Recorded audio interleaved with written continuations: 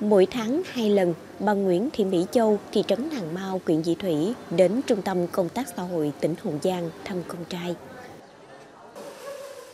Cuộc sống vốn khó khăn, đây càng vất vả hơn khi chồng bà vừa phát hiện mắc bệnh hiểm nghèo.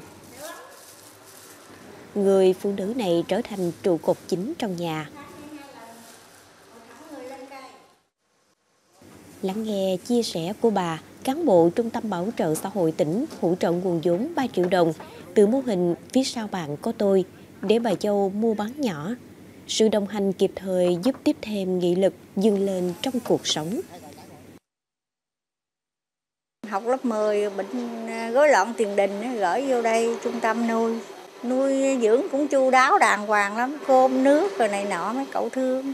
Tới gia đình nữa, quan tâm và chia sẻ những lúc khó khăn hỗ trợ à, vốn được à, 3 triệu cho cô đi bán số hàng ngày. Tuy là cái số vốn nó không có nhiều hung nhưng mà trang trải được trong lúc khó khăn đó.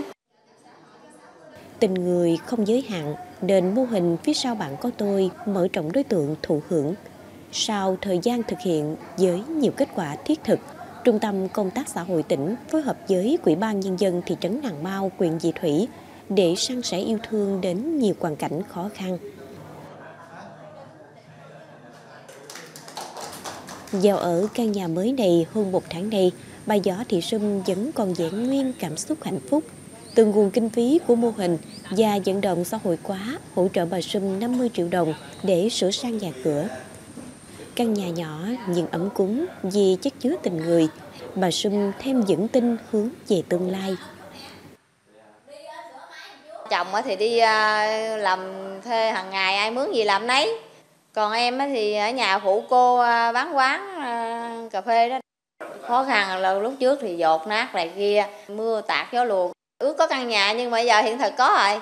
Có căn nhà rồi rồi chồng cũng cố gắng phấn đấu ừ, giúp thoát nghèo cho, cho đỡ bản thân với lại à, xã hội.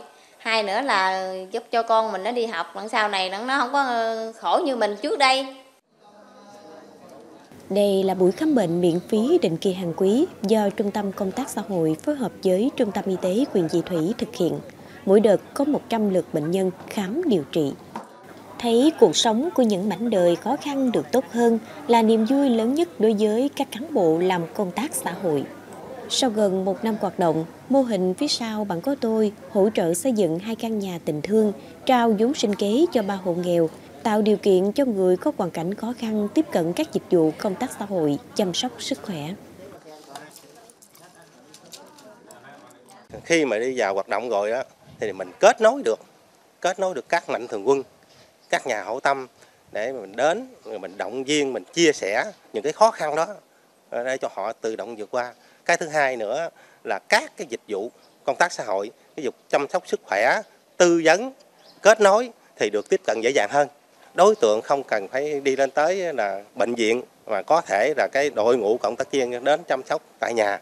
À, cho nó là thuận tiện hơn rất là nhiều. Trong cái thời gian tới thì, à, thì mình sẽ nhân rộng ra các cái à, ấp khu vực lân cận và các xã cái mô hình càng hoạt động có hiệu quả thì mỗi địa phương theo tôi hiểu là mỗi địa phương thì ít nhất cũng phải có cái mô hình. Toàn tỉnh Hậu Giang có trên 39.500 đối tượng bảo trợ xã hội. Mô hình phía sau bạn của tôi tìm hiểu sâu vào mọi ngóc ngách đời sống, vừa trực tiếp chăm sóc tốt hơn cho những người thuộc diện bảo trợ xã hội, vừa kịp thời hỗ trợ gia đình, người thân của những hoàn cảnh đặc biệt dừng lên trong cuộc sống.